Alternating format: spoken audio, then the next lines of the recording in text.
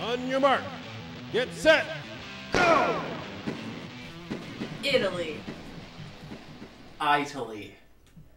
Italians are from Italy. I think that's supposed to be made of marble Right, makes sense. because marble comes from Italy. They put a lot of thought into this game.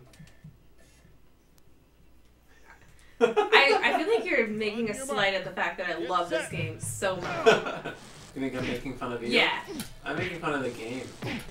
It just doesn't age well. It ages amazingly. I don't know what game you're watching, but I'm watching one that's amazing and it's aged beautifully. Maybe this game's just too Like extreme. a fine older lady. Maybe this game's just too extreme. It's too extreme for you. No, this is one extreme. I was hoping you'd say, no, that's the sequel. Oh, But I'm. I can't think that fast when I'm dealing with the extremity of this situation. Whoa. Whoa. I don't even. Oh, those are baskets of grapes. That's what that was. Yeah, you're just riding your bike down the street. Whoa. You gotta watch out for the baskets of grapes everywhere. In Italy, all over the Yeah. place. And just the tractors in the middle of the road. It gets even more Italian though. This they really went all out on this one. Yeah. Oh my god. A city appears out of nowhere. Don't spoil it. Chickens. Whoa. Groff. Grow. This cardboard tractor. Ah, gross. Cardboard tractor. That's um. That reminds me of this one time I was in. I think it was Niagara Falls, New York, and we were driving, and I saw this front of a building that I'm like, that's a really cool building, and then we drove past it, and it was a it was a complete like cardboard cutout of a building. It was a fake building. It was a fake building. I mean, it wasn't cardboard; it was wood. Where was it? Uh, in Niagara Falls, New York. Really? Yeah. What was the purpose? I think it was like advertising new development that was Oh. going there. But it was just the weirdest thing. I'm like, I knew this was kind of a ghost town, but I didn't know it was completely artificial. yeah, Niagara Falls is our uh, doppelganger, Whoa. sort of. Uh, there's Niagara Falls, New. Here, I'll give you a little geography lesson, I guess. Uh, Niagara Falls, New York, is directly across the border from Niagara Falls, Ontario.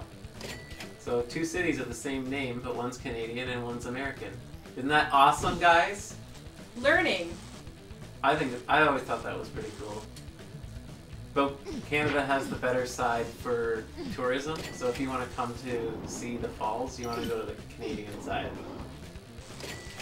I feel like most people that come over here don't even know which side is which. Like a lot of them don't even realize that they've crossed the border Yeah, a lot of in people either don't. direction. For some reason, people don't really realize that they're actually in Canada. It's like, okay, did someone ask you for your passport?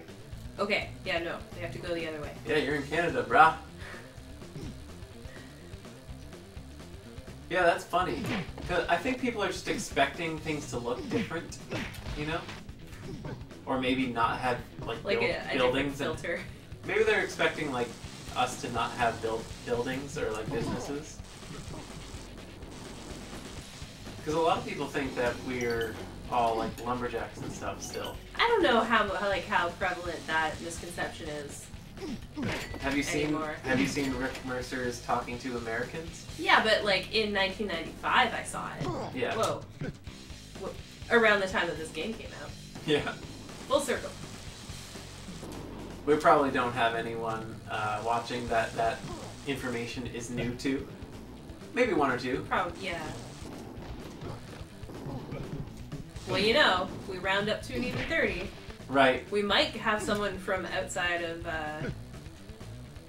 I don't know, Ontario. Outside of Ontario. Outside of Ontario.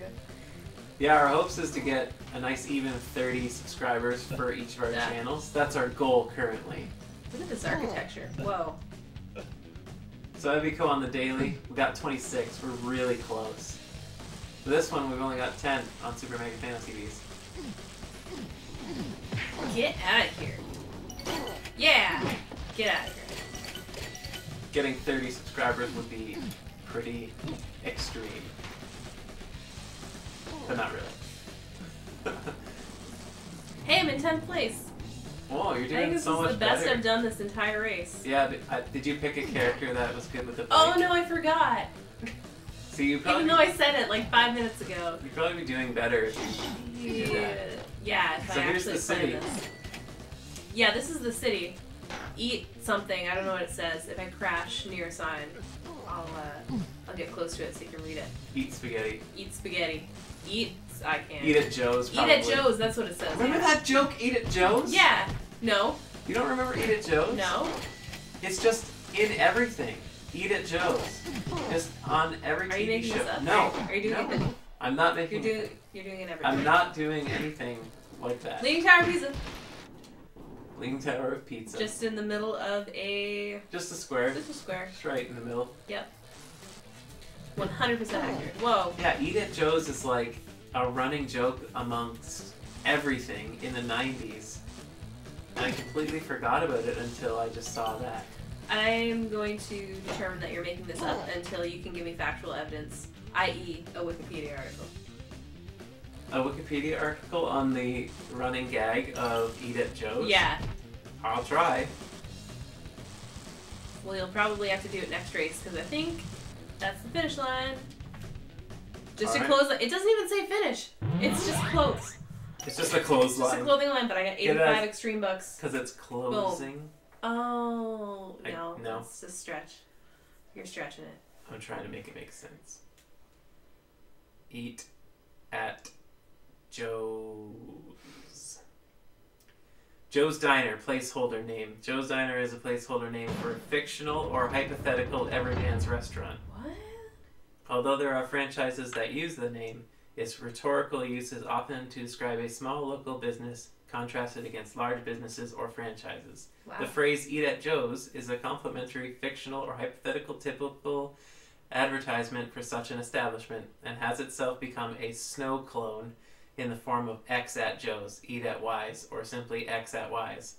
It has also been noted that Joe's Diner is an example of a weak name that would likely be unsuccessful suing another Joe's Diner in another state. Wow. That's from Wikipedia. Wikipedia, please don't sue. Oh my god. The information age is a beautiful time to be alive. Right, I'll tell you that much. and we'll dicks, see. dicks, dicks, da da da dicks. we'll see you next time in Utah. See ya.